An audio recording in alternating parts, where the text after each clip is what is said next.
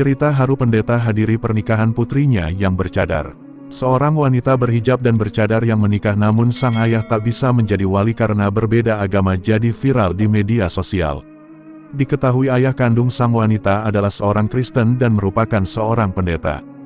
Cerita haru ini dibagikan oleh akun TikTok sang pengantin wanita, at kristinatalia.10 dengan nama Kristin Natalia dalam beberapa unggahan sejak April lalu sampai tanggal 13 Juni tahun 2021.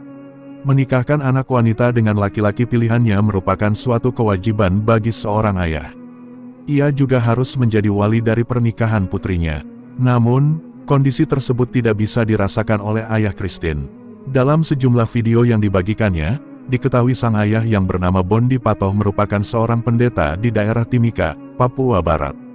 Sedangkan, Christine adalah wanita muslim yang sudah mantap mengenakan hijab dan cadar. Meski jarak yang jauh, ayahnya bersedia meluangkan waktu untuk datang ke pernikahan Christine di daerah Berau, Kalimantan Timur. Salah satu hal terberat yang aku dan ayahku rasakan adalah momen di mana ayahku bisa menikahkan anak orang lain di gereja, tapi tidak bisa menikahkan putrinya sendiri karena perbedaan agama kami, ungkap Christine. Curahan hati Christine pun menarik banyak perhatian warganet yang ikut merasakan kesedihan dan haru dari momen pernikahannya. Awalnya, ia mengaku berat menikah karena beda keyakinan dengan ayahnya.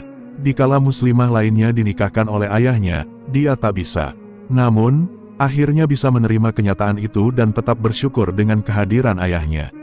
Alhasil yang jadi wali nikahku adalah wali hakim, bukan ayahku. Walaupun demikian, aku sangat bersyukur dan bahagia sekali di hari itu, tulis Christine. Christine juga mengungkapkan bahwa ayah dan ibunya memang sudah berpisah sejak dirinya masih berumur enam bulan. Ia juga menyebutkan bahwa baik ayah dan ibunya sudah memiliki keluarga masing-masing. Christine pun sangat senang karena di momen pernikahannya, ia bisa kembali berkumpul bersama dengan kedua orang tuanya.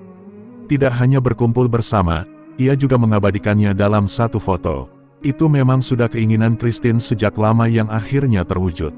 Dan setelah sekian lama, akhirnya punya foto bareng mama dan Dedi, tulisnya. Ini adalah foto yang selalu aku nanti-nantikan, akhirnya Allah kabulkan tepat di hari pernikahanku, pungkas Christine.